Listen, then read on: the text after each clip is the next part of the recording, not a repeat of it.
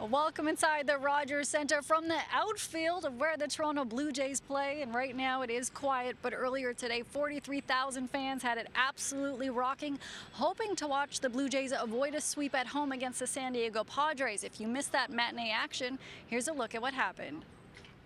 Chris Bassitt is on the mound today, taking on a Padres team that has won the first two games of this series. 9 to 1 Chris Bassitt with the start for the Jays, and it gets a little hairy early on. Watch this moment. Padres Tatis Jr. hits it into the outfield on the fourth pitch. Going, going. Look at this. Luplow and Kiermaier almost knocked each other out. Could have been a disaster, but they get the out. To the bottom of the second, still scoreless. Luplow, who just got recalled from AAA to the team last night at bat, two on base. Up the middle and through, a base hit. Jays managed to score, taking a 1-0 lead. Now to the bottom of the fourth, Alejandro Kirk at bat with Merrifield on first. This is a Kirk specialty. Kirk with the base hit. Moments later, Luplow would get walked, and we have a bases-loaded scenario. George Springer with the DH for the game at the plate. And he pops it up. Bogaerts is there, and the Blue Jays threaten, but will leave the bases loaded. No bueno. Jays blowing another bases loaded opportunity. Next few innings, a bit of a snooze fest until the seventh, when the home run derby king of 2023, Vladdy at the plate. Hits it pretty well to the opposite field, and it's gone. Vladdy absolutely crushes it for a solo home run. Jays up 2 0 Now fast forward to the bottom of the eighth.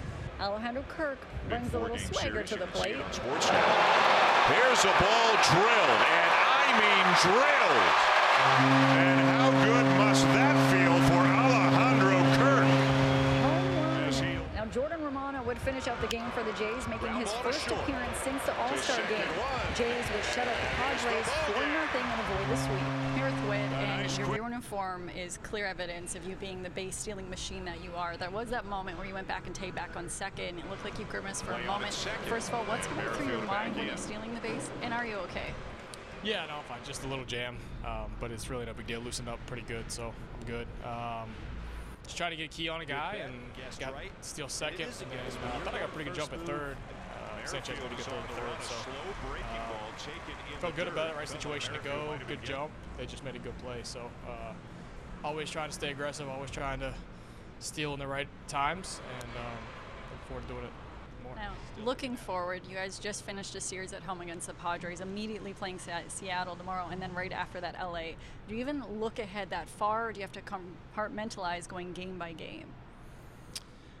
Uh, yeah, I mean, you gotta look ahead to uh, when you're packing, you know, see what the weather's gonna be like. Going to LA, you know, maybe pack a bathing suit. But um, as far as the baseball part goes, you just kind of take it day by day. Uh, we're getting into late July, August, kind of the dog days of this of the season. So um, this is kind of when the grind really starts. It really starts getting um, to where you need to focus on one day at a time, one one at bat at a time. Because if you start looking at looking ahead, it can uh, it can wear you out. So yeah, one one game at a time right now.